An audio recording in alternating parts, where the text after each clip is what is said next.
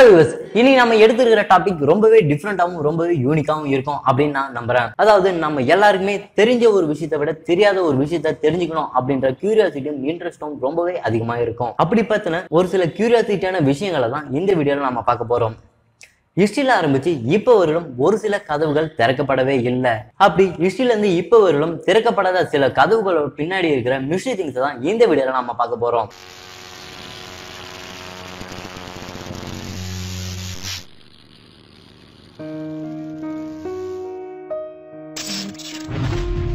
First thing எதுன்னு பாத்தீங்கன்னா நம்ம எல்லாருக்குமே தெரிஞ்சு நம்ம எல்லாருமே ரொம்பவே பழக்கப்பட்ட ஒரு பிளேஸ் தான். வேர்ல்டு வைடாவே சிம்பிள் ஆஃப் லவ் அப்படின்னு நம்ம கொண்டாடிட்டு இருக்கிற தாஜ்மஹால் தான் அந்த பில்டிங் தாஜ்மஹாலோட ஹிஸ்டரியில நிறையவே மிஸ்டேக்ஸ் இருந்தாலும் அதை பத்தின பாசிட்டிவ் கமெண்ட்ஸும் இருக்கு நெகட்டிவ் கமெண்ட்ஸும் இருக்கு.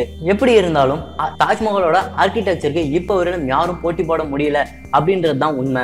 அது மட்டும் இல்லாம தாஜ்மஹால் கன்ஸ்ட்ரக்ஷன்ல ஒர்க் பண்ண எல்லாரோட வேலையுமே ஷாஜகான் வெட்டிட்டாரு. அதனாலதான் தான் இப்போ வரையிலும் யாராலையும் அப்படி ஒரு ஆர்கிடெக்சரை கொண்டு வர முடியல அப்படின்ற ஒரு விஷயத்திலும் ஹிஸ்டரியில ரிஜிஸ்டர் பண்ணியிருக்காங்க. நம்ம தாஜ்மஹாலை பத்தி நிறைய விஷயங்கள் தெரிஞ்சிருந்தாலும் தாஜ்மஹாலோட அண்டர் கிரவுண்ட்ல இருக்கிற சீக்ரெட் லாக்கரை பத்தி நம்ம யாருக்குமே தெரிஞ்சிருக்க வாய்ப்பு இல்லை அதாவது தாஜ்மஹாலோட அண்டர் கிரவுண்ட்ல அந்த தாஜ்மஹாலோட அளவுக்கான ஒரு பாதாள அறை இருந்திருக்கு. அதோட என்ட்ரன்ஸ் பாத்தீங்கன்னா தாஜ்மஹாலோட ஃப்ரண்ட் கார்னர்ல இருக்கு. அந்த கார்னர்ல இருக்கிற அந்த என்ட்ரன்ஸை இப்போ வரையும் யாராலுமே ஓபன் பண்ணவே முடியல. நிறைய பேர் அதை ஓபன் பண்ண ட்ரை பண்ணி தோத்து போயிருக்காங்க. அது மட்டும் இல்லாம அந்த டோருக்கு பின்னாடி இருக்கிற மிஸ்ஸி திங்ஸ் என்ன அப்படின்ற ஆராய்ச்சியிலும் நிறைய பேர் இறங்கியிருக்காங்க. அதாவது ஹிஸ்டரியை பொறுத்தவரும் ராஜாக்கள் எல்லாருமே அவங்களோட பொக்கிஷங்களை பாதுகாக்கிறது இந்த மாதிரி பாதாள அறை தான் யூஸ் பண்ணியிருக்காங்க. இதை வச்சு பார்க்கும்போது அந்த பாதாள அறையில அவர் ஷாஜகான் காலத்தோட பொக்கிஷங்கள் எல்லாத்தையுமே அதுல சேஃப்டியா வச்சுட்டு இருந்திருக்கலாம் அப்படின்னு ஒரு சார சொல்லிட்டு இருக்காங்க. இன்னொரு பக்கம் பாத்தீங்கன்னா அந்த பாதாள அறையில தான் மும்தாஜோட உடம்ப பதப்படுத்தி வச்சிருக்காங்க. அப்படி அப்படி யாராவது அந்த டோரை ஓபன் பண்ணிட்டாங்கன்னா அந்த பதப்படுத்தி வச்சிருக்கிற அவங்களோட பாடி கெட்டு போயிடும். அதனாலதான் அதை யாரும் ஓபன் பண்ண முடியாத அளவுல செக்யூர் பண்ணி வச்சிட்டு இருக்காரு அப்படின்ற ஒரு விஷயத்தையும் சொல்லியிருக்காங்க.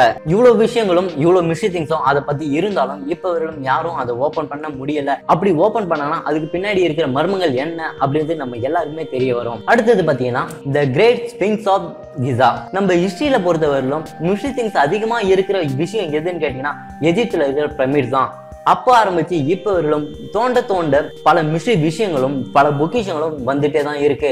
அப்படியான ஒரு திங் தான் இதுவும். இந்த த ஸ்பிங்ஸ் ஆஃப் கிசா அப்படின்றதும் பாத்தீங்கன்னா ஒரு பிரமிட் தான். இது யாரோட கல்லறை அப்படின்றதும் இப்போ வரலும் கண்டுபிடிக்க முடியல. அது மட்டும் இல்லாம மத்த எல்லா பிரமிட்ஸ்ல இருந்து இது ரொம்பவே யூனிக்காவும் ரொம்பவே டிஃப்ரெண்ட் டிசைன்ல கட்டியிருக்காங்க. அப்படி என்ன யூனிக் டிசைன் கேட்டீங்கன்னா மத்த எல்லா பிரமிட்ஸுமே பாத்தீங்கன்னா அதுக்குள்ள இருக்கிற ராஜாவோ ராணியோ அவங்களோட உருவத்தை தான் அந்த பிரமிட் வெளியே ஸ்டாச்சுவா வச்சிருப்பாங்க.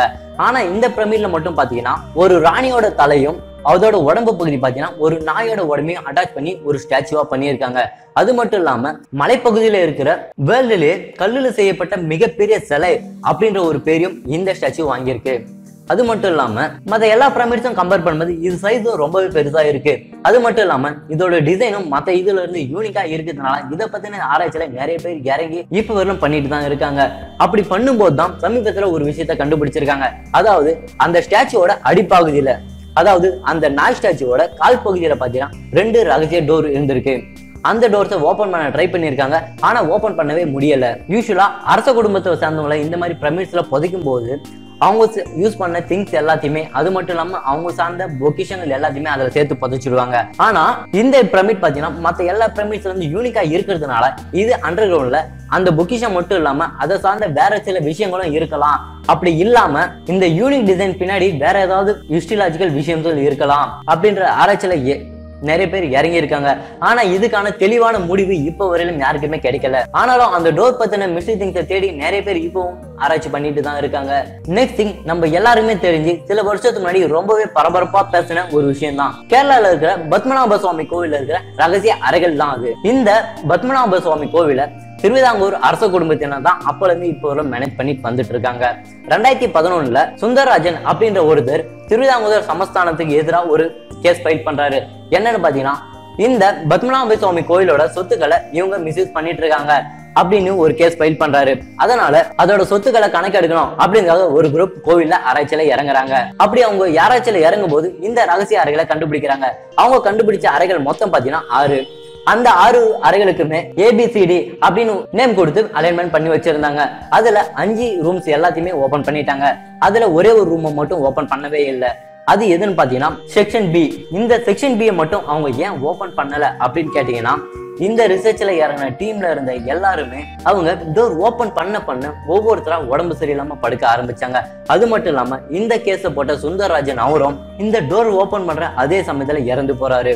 அதனால எல்லாருமே ரொம்பவே பயந்து போயிட்டாங்க. அது மட்டும் இல்லாம அதுல ஒர்க் பண்ண அவங்களோட குடும்பத்தை சார்ந்தவனுக்கும் நிறையவே பிரச்சனைகள் வந்திருக்கு. அதனால இந்த விஷயத்துல எல்லாருமே ரொம்பவே பயந்துட்டாங்க. இருந்தாலும் ஒரு சிலர் முயற்சி பண்ணி டோர்ஸை ஓபன் பண்ணினாங்க.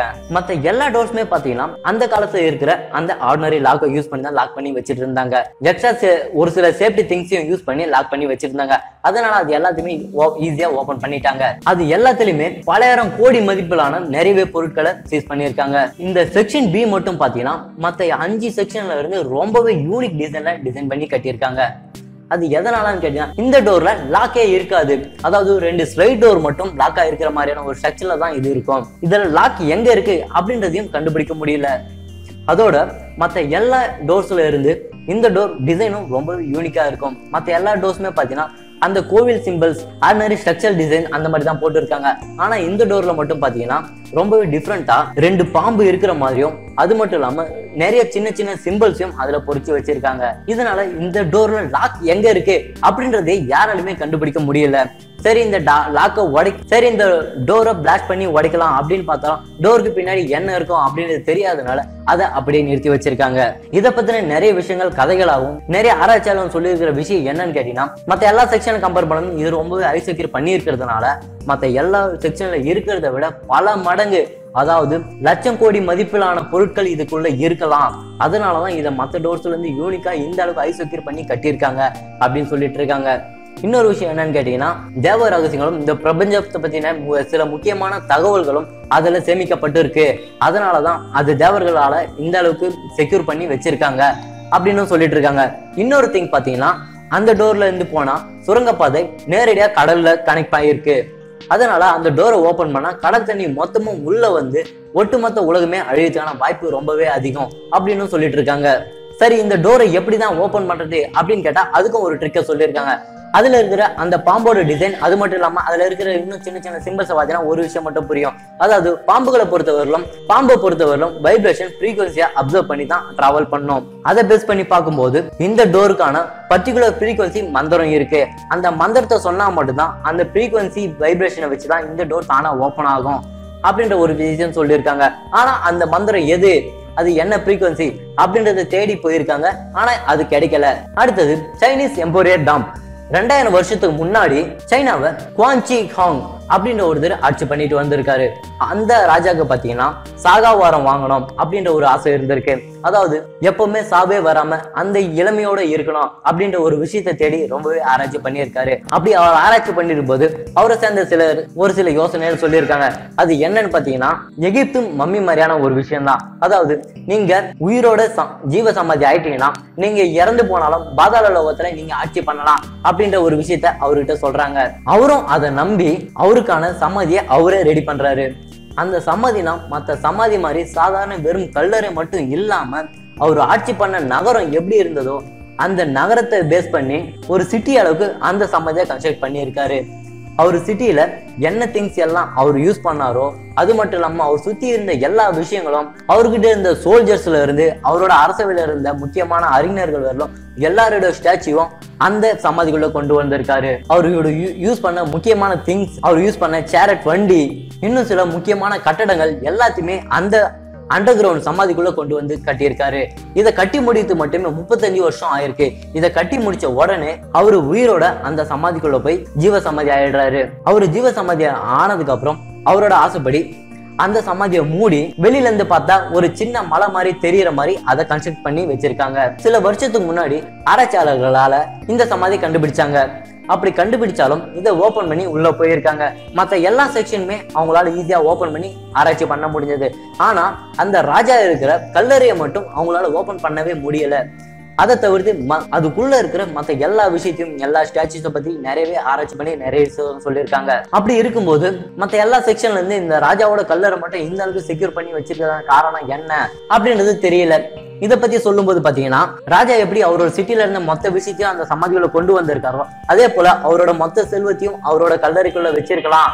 அதனாலதான் அதான் அந்த அளவுக்கு ஐஸ் வைக்கிற பண்ணியிருக்காங்க அப்படின்ற ஒரு விஷயத்த சொல்லியிருக்காங்க. அதனால அந்த ப்ராப்பர்ட்டிக்கு ஆசைப்பட்டு நிறைய பேர் அதை ஓபன் பண்ண ட்ரை பண்ணிட்டு இருக்காங்க.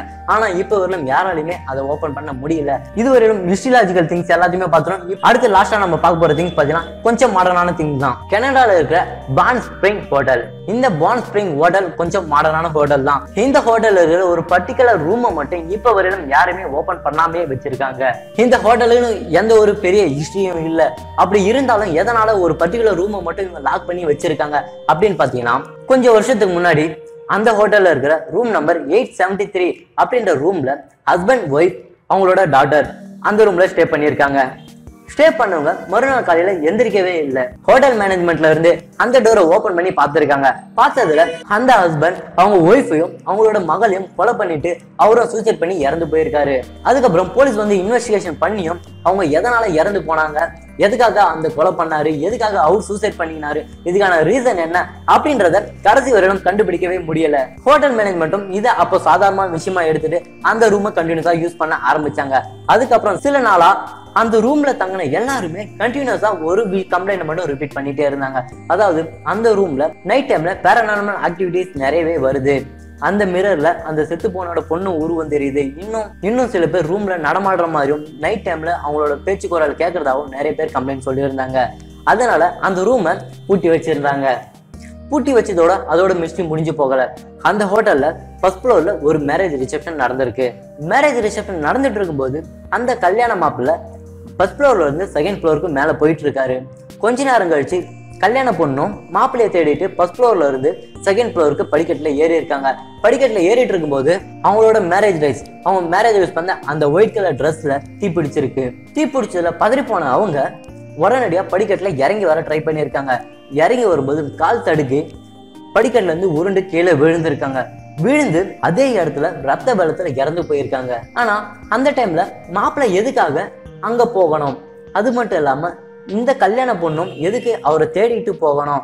வேற யாரையாவது அமைச்சிருக்கலாமே அப்படின்ற விஷயமும் மர்மமா இருக்கு. அது மட்டும் இல்லாம அவங்களோட ட்ரெஸ்ல எப்படி திடீர்னு தீப்பிடிச்சது தீப்பிடிச்சது மட்டும் இல்லாம அவங்க விழுந்த ஹைட்டும் பாத்தீங்கன்னா ரொம்ப அதிகம் இல்ல. ஒரு மீடியம் ஹைட்ல இருந்தா விழுந்திருக்காங்க. அந்த ஹைட்ல இருந்து எப்படி அந்த அளவுக்கு போர்ஸா விழ முடியும்? அதாவது அவங்களோட மண்டை உடஞ்சி ரத்த பலத்துல ஸ்பாட்டே சாகிற அளவுக்கு எப்படி ஒரு போர்ஸ்ல விழுந்திருக்க முடியும்? அப்படின்ற ஒரு விஷயம் யாருக்குமே தெரியாம ரொம்பவே குழம்பி போயிட்டாங்க. இதுல பயந்து போன அந்த ஹோட்டல் மேனேஜ்மெண்ட் அந்த ரூமை பர்மனண்டாவே க்ளோஸ் பண்ணிட்டாங்க. அதாவது அந்த டோருக்கு முன்னாடி ஒரு செவரை வச்சு அந்த ரூமை மட்டுமே பிளாக் பண்ணிட்டாங்க. இப்போ வரையிலும் அந்த ரூமை ஓபன் பண்ணோம் அப்படின்ற முயற்சியில யாருமே இறங்கல. ஓகே இப்போ நம்ம பார்த்தா அஞ்சு டைப்ஸ் ஆஃப் டோர்ஸ்ல உங்களை ரொம்பவே இம்ப்ரெஸ் பண்ண டோர் எது? அப்படின்றதையும் இந்த வீடியோ பத்தின உங்களோட ஃபீட்பேக்ஸையும் கமெண்ட் பாக்ஸ்ல மறக்காம கமெண்ட் பண்ணிடுங்க.